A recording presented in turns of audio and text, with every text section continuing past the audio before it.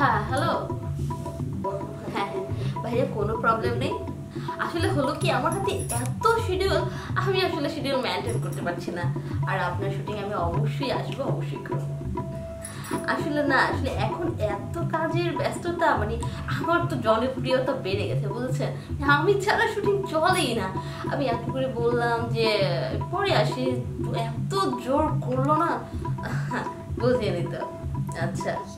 হ্যাঁ হ্যাঁ আপনি কোনো টেনশন করবেন না। আমি এটা শেষ করেই চলে আসছি।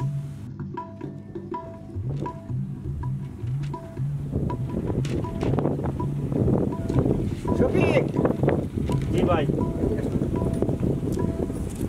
দেখো তো নায়িকা আশামনির কি অবস্থা? ওরে রেডি হইতে বলো। আচ্ছা ঠিক আছে আমি বলতেছি। হ্যাঁ হ্যাঁ আচ্ছা, তাড়াতাড়ি ঠিক আছে। বলো।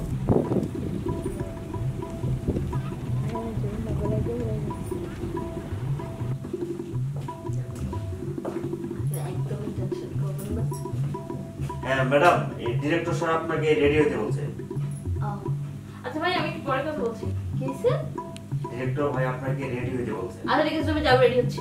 আচ্ছা দ্রুত রেডি হন। আচ্ছা যাও। আচ্ছা আচ্ছা যাচ্ছি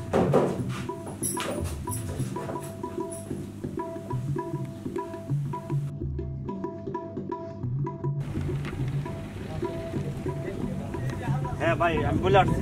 হ্যাঁ বলছো। ও হ্যাঁ ভালো কথা। ওরে প্লাজো পড়তে বলো। আচ্ছা ঠিক আছে আমি বলতেছি। হ্যাঁ হ্যাঁ হ্যাঁ তাড়াতাড়ি করো। আচ্ছা। শর্টে যাব কিন্তু। আচ্ছা আচ্ছা আচ্ছা ঠিক আছে।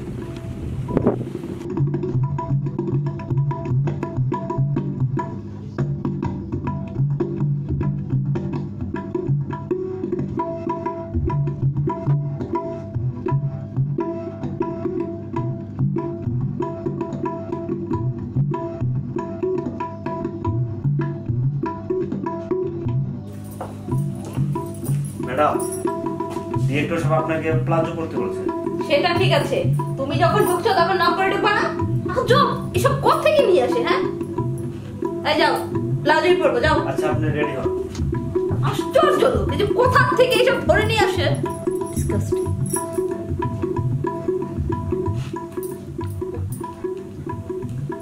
আমি সবসময় বলি ইউনিটে একটু শিক্ষিত লোক রাখতে কাদেরকে রাখি? হ্যাঁ ভাই প্লাজো করতে বলছি।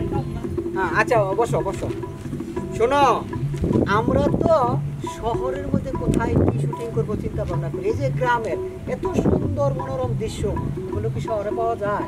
না এগুলো শহরে পাওয়া যায় না। দেখছ কত সুন্দর। দেখতেই তো ভালো লাগে। আর শোনো ভালো কথা ওই যে ক্যামেরাম্যানটা আছে না রাজ্জাক? হ্যাঁ হ্যাঁ। ওই নায়িকা কি ওর ভুল লাগে সে অসর্বিত কৃপণতা করে কেন?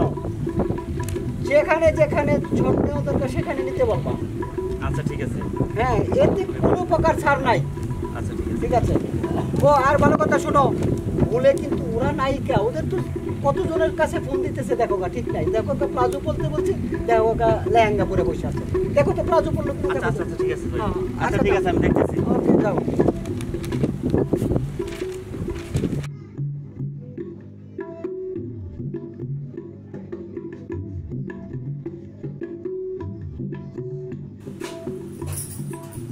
হ্যাঁ ম্যাডাম প্লাজো কি পড়ছে? কেন আপনার কি বিশেষ হচ্ছে না? এই যে দেখেন।